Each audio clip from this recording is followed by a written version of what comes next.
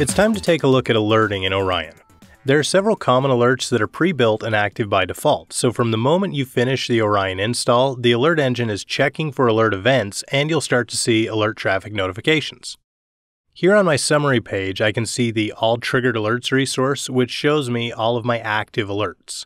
Under Event Summary, I can see a count of triggered alerts and alert resets during a particular time period. When I look at my node details view, I can see any active alerts on this particular node. So there's no shortage of built-in alert notification. But I'm going to jump now to the alerts view. This is where you can most easily see and manage any active alerts. You can group your alerts in several ways, including by severity level, the alert name, or the object that triggered the alert. After you've grouped your alerts, you can also sort them. By default, the alerts are sorted by trigger time, but you can sort on any of these columns. If you're dealing with a high volume of alert traffic, this makes it a whole lot easier to find the alerts you're looking for. Once you've found an alert you want to look at, you can select the alert and click on View Alert Details.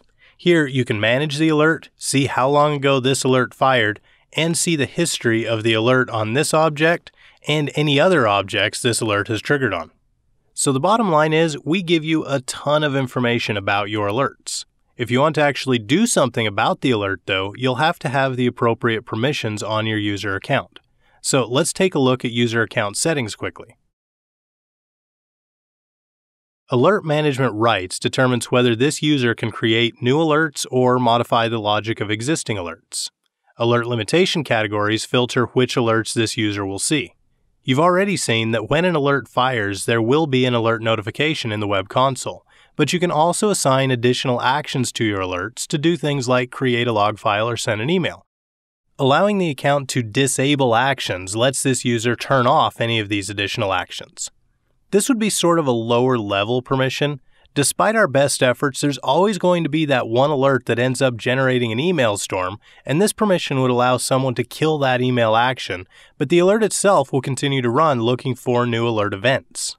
That's different than the next option, allow the account to disable the alert. Some users should be able to turn the alerts on and off, but probably not all. So this would be more of a mid-level permission. As is the next one, allow account to disable all actions. This permission enables a checkbox in the More drop-down menu of the Alerts view that basically allows this user to say, we're getting flooded with emails and text messages, I have no idea why, so I'm just killing every single action on every single alert until we get this figured out. This is sort of a panic button for when something seems to have gone horribly wrong and you just need a minute to get things sorted out. And finally, we have Allow account to clear events, acknowledge alerts, and syslogs. This is probably another lower level permission. Anyone who has anything to do with managing the objects that might trigger an alert is probably going to get permission to acknowledge the alerts. My admin account has permission to do all of the above. So let me jump back into my alerts view. So let's begin with the most basic of permissions, acknowledge. When you select an alert and click acknowledge, by default you'll get a dialog box to add notes if you'd like. But notice you can disable the notes as well. I'll click Acknowledge again, and now you can see that the alert has been acknowledged and which user acknowledged it. Acknowledging an alert doesn't just let you see who's working on an issue, it can also suppress any actions associated with the alert. For example, maybe you have two tiers of after hours support. Your Tier 1 support is supposed to pick up any alert issues immediately, and Tier 2 is just supposed to be notified by email if Tier 1 doesn't pick up the alert within a certain amount of time. So when Tier 1 support acknowledges the alert, the alert is still active because the problem isn't resolved, but Tier 2 doesn't get an email. Now remember I disabled alert notes just a second ago, so this time when I click acknowledge, I see that I have acknowledged the alert, but I don't get a pop-up box. To turn alert notes back on, go to the More drop-down box and uncheck Don't Prompt for Alert Notes. Also, notice on the drop-down I can choose to hide acknowledged alerts in this view. If you have alert management rights, you can also click on Manage Alerts where you'll be able to see a list of all of your alerts, manage and edit those alerts, or create new ones. You can also get there by going to Settings, Alerts and Reports, and Manage Alerts. So here's a list of all of my alerts. If I scroll to the right, I can see Basic Alert Details. On the left-hand side of the screen, I can group my alerts to make them easier to find.